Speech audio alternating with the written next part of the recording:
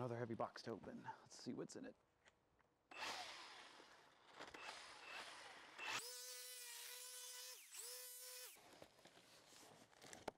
Here we go, guys.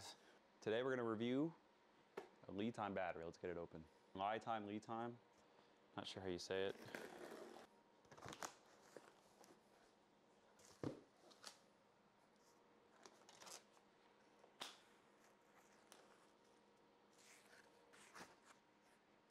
This on the ground and pull it out. Oh, it's got handles. Perfect. Oh yeah.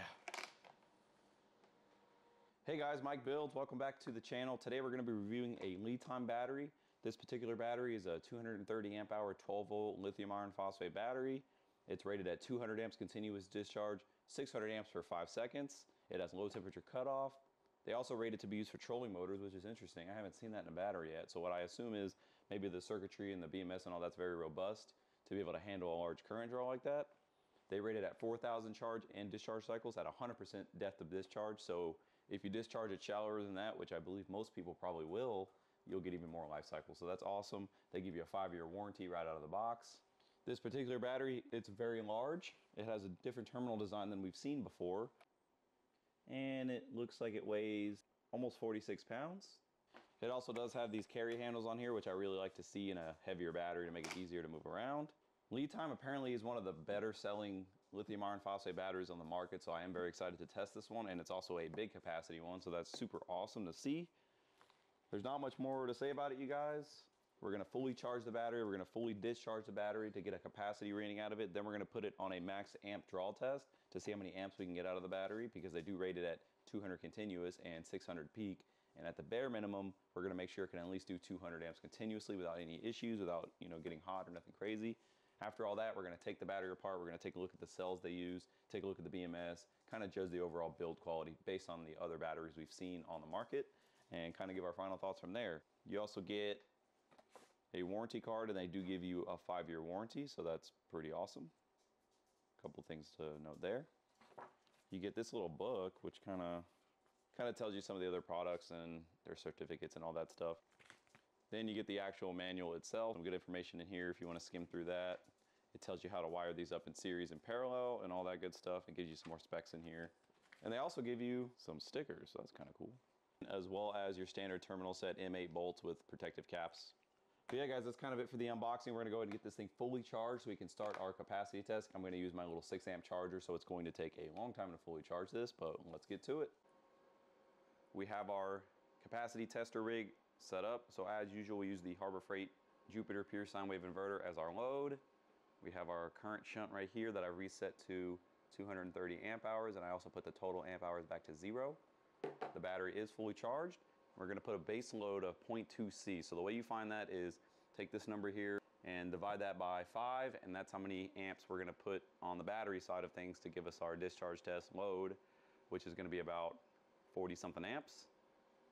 And just like always, we're gonna be using our Chargeverter as the load to charge my 48 volt system. So I'm gonna go ahead and get the load started, get the base, get the amperage where we want it, and we're gonna let this run until the battery runs out of energy.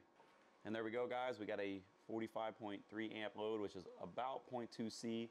So we're gonna let this run all the way till the battery dies or until the inverter shuts off, and we're gonna see the capacity, final capacity is gonna be right here.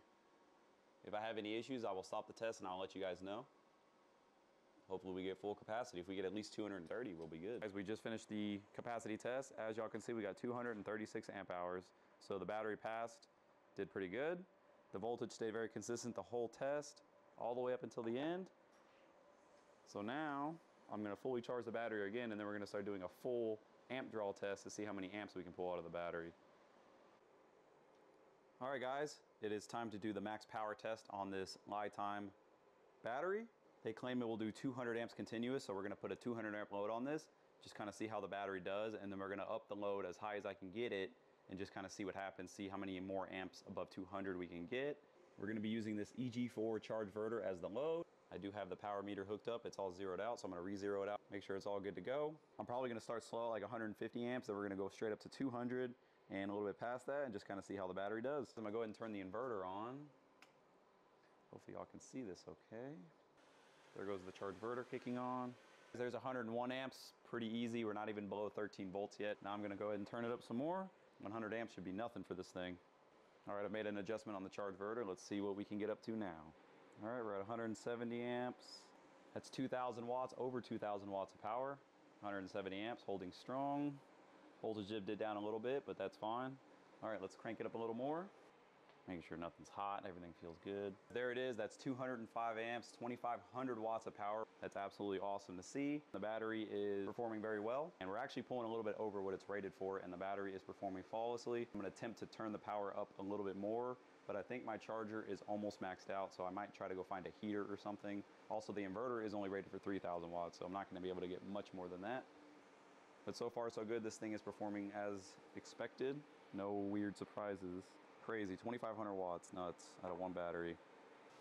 Dang, we are at 232 amps, 233 as the voltage starts to drop a little bit. We're still holding above 12 volts, so that's what I like to see on a load test. I don't ever want the voltage to dip super low. Like if you're like low 11s, high 10s on a load test, and that means your battery is not providing the amps it could be, and it could be bad for what your load is demanding.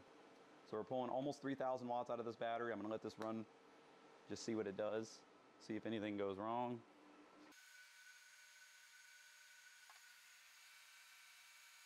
The battery is doing awesome. This is unfortunately the most I'm gonna be able to get out of it.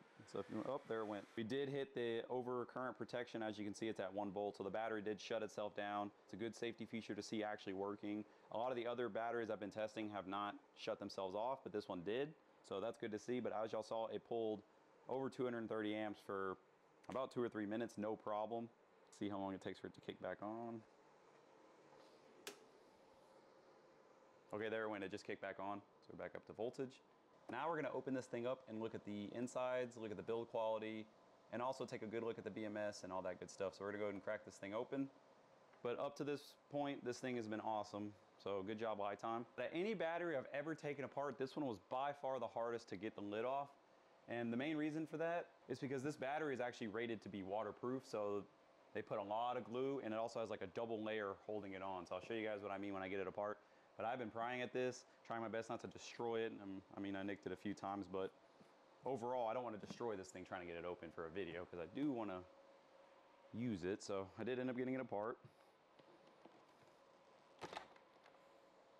And I didn't nick anything on the inside, so that's good. Familiar battery smell, they all have that weird smell. But if you kind of look right here, there's like two layers of plastic. It attaches like this with glue on both sides, so that's what gives this thing its water tightness, and you can see they used a ton of adhesive on this thing. So this is the first time seeing this thing. I figured the cells are gonna be in this orientation given the length of the battery. Looks like we have laser welded terminals. Good to see that. Balance wires look okay. That's our high low temp sensor right there. We're gonna test the low temp cutoff on this thing. If you look, well, it's hard to tell, but in this sheathing, which is really nice to see this because this protects the wires from heat and all that stuff, but I can feel that there's many conductors on the negative side. And it feels like there's two, maybe six or four gauge conductors inside this sheathing. And that goes right here. And then this is the negative connection right here. I'm gonna go ahead and pull this whole assembly out. The lugs actually connecting to the outside of the battery, these seem like they're very well made. They even put some goop on there, I guess, to help secure the bolt that holds those on. And there's the positive side, it looks really good. I'm gonna go ahead and wrench this thing out of here. Here's what the inside of the box looks like for anyone who's curious, just a basic box, nothing crazy there. And here's the part everybody wants to see. Okay guys, first let's take a look at the BMS. I'll give you guys a real close-up look at it. It's got some extra plugs up here, so I wonder what those guys are for. If you guys know, let me know in the comments. And also, this has a power wire coming off into the BMS, along with its balance wires. Normally, on a BMS, you only see negative wires going into it and then your balance wires. So interesting to see that. And that's about as much as I can see when it comes to the model because I don't want to wrench this heatsink off and mess something up. So if anyone can decipher that, let me know. But overall, this is kind of what you'd expect to see in a battery like this because it's rated for trolling motors. It's got to be a very beefy BMS in order to handle the current. Even though there are a lot of batteries out on the market that say they can handle whatever their output is continuous, some of them cannot. And it's not necessarily because the cells can't handle it, it's because they use a cheap BMS. So it is nice to see a really nice BMS that is part of the reason you're paying for the plus model of this particular battery. To me, it's not a big deal, but I know some people would rather see this all sheaved up. The connections to the actual bus bars look really well secured. They even put a dab of silicone to help keep the bolt from coming out. And, and then it also has a little bit of heat shrink here. Between the cells, it's hard to see, but there's actually like a matte material, so that keeps the cells insulated between each other in case the casing were to rub. On the corners, they put these hard plastic bits to keep the corners from getting squished. And the whole pack looks like it's being compressed by this green, like plastic stuff. And if you look on the back, there's three of them. So that should be plenty of compression. None of the cells looks puffed or swollen even after we did a hard test with them. That all looks good. And you can see all the multi-strand conductors coming off the negative side, going into the BMS. The BMS is attached, it looks like it's just zip tied. If you look right here, zip tie right there. So once again, some people might complain about that, but as long as it works, personally, I don't really mind. I guess they could have done a better job, but at the same time, as long as it works. And then there is also a insulator between the battery itself and the BMS. That way, if this puts out any heat, it's not gonna affect the cells at all. But that's it. The overall pack quality is okay. I don't really see anything crazy that sticks out to me that's horrible. Let me know what you guys think. Now I'm gonna pull the temp sensor off. We're gonna try to put it in some freezing water and see if we can get the low temp cutoff to work. This also has low temp discharge. So if you're using the battery, it will also cut off below a certain temperature as well, but it's like zero degrees Fahrenheit. It's really, really cold. All right, so what I'm gonna do is connect the charger to the battery and the light right here will turn red. That means that there's current flowing into the battery. Now I'm gonna take the temp sensor and stick it in this ice bath and see if the BMS turns off charging. Up there went guys, it just shut off charging. So I'm gonna take the temp sensor back out, Oop, warm it back up and see how long it takes for it to turn the BMS back on. Oh, there it went. Okay, so now we're charging again. So the low temp cutoff does in fact work. Good to see that. I would like to have seen a little bit of foam right here because this does sit on the directly on the case of the battery. It does have this plastic right here, but I would have liked to see a little bit of foam. Like I said, that, maybe mount the BMS a little bit better. It's really the only complaints I have about it. But yeah, that's really it, guys. I'm gonna go ahead and throw this thing back in the case and we'll kind of give our final thoughts on it. I think that's gonna wrap it up for this video. As you guys saw, the battery did very well in the capacity test. It did very well in the amp draw test, and I was very happy to see that the BMS actually had a overcurrent protection feature that worked. The BMS itself is very robust. It's very large. I don't think you'd have any issues pulling 200 plus amps out of this thing for an extended amount of time. If you guys are using this battery or any other LiTime batteries, let me know what kind of luck you guys are having with it in the description and let me know what else you guys want to see me do with this battery. It's going to go into service with my other 12 volt batteries and in one year from now, I want to recapacity test this thing and just see how the capacity is holding up over time. Anyways, thank you all so much for watching and I will catch you all on the next one.